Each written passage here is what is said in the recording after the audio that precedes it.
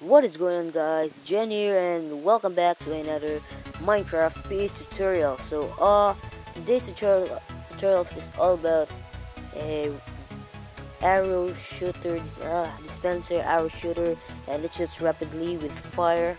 So yeah, uh, first you're going to need is gonna put the dispenser, I mean, no no no, no forgot, you need to choose a block choice, and a, and a getter, lever, and also comparator. So uh, first you're to need is to put a block and put redstone comparator.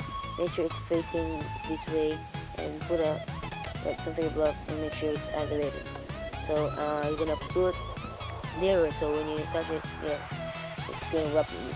So uh, then you're gonna put a uh, sensor facing here and put a and going to sneak and put a redstone on the top of the center. And then uh, you're gonna put arrows. So I got five arrows. So uh, I'm gonna read. I'm gonna get some.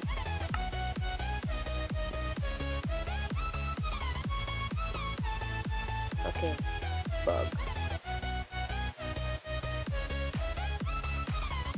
So uh, now it shoots rapidly. So now uh, we're going to put a fire on it. So uh, first is you're gonna put a sand snap there. Make sure it's open and make a make a block here. Put a block here and put a block. Then uh then uh, you're gonna put a lava the top the lava at the top I put the lava inside of it. Make sure it's open permanent don't close it. So now it shoots so I'm gonna put mob. No no no don't close. So yeah it should close